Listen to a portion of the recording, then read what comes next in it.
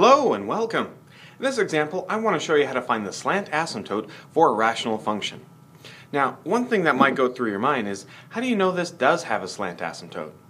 Well, one way you can tell whether it does have a slant is actually compare the largest power in the top with the largest power in the bottom. Now, if the power on top is exactly one larger than the bottom, then you know it must have a slant asymptote. So as you can see in this example, the largest power on the top is 3 versus the largest power on the bottom, which is 2. So the top is exactly one larger than the bottom. So to actually find that slant asymptote, we go through the long division process and basically record our quotient.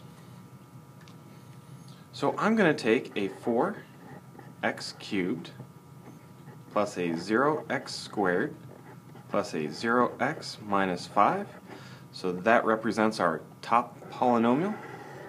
I'm going to divide this by 2x squared plus 0x minus 6. Now you'll notice that I'm putting in some zero placeholders for some of my missing powers of x.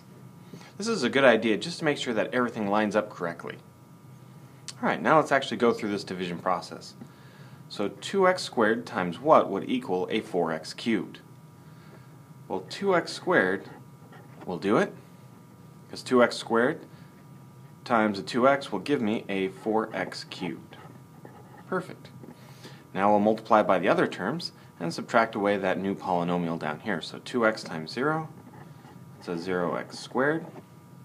2x times a minus 6, a minus 12x. Looks good. And now that we have that down there, we want to subtract it away see what this gives us. So 4x cubed minus 4x cubed will be gone. 0 minus 0, gone. Looks like this is a 0 minus a negative 12. That'll become a positive 12x. Alright, that looks pretty good. Now, at this point, the power is now less than what I'm dividing it by.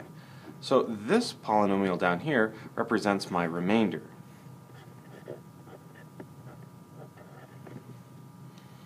Now what this is really showing me is that when I run through the division process, I get a 2x plus my remainder, which is still being divided by the 2x squared minus 6. Now this quotient part that we got, the 2x, this is where the slant asymptote is going to come from. In fact, I could say that the equation for the slant is y equals 2x. And there you go. So always look for the quotient when looking for that slant asymptote. If you'd like to see some more videos, please visit mysecretmathtutor.com.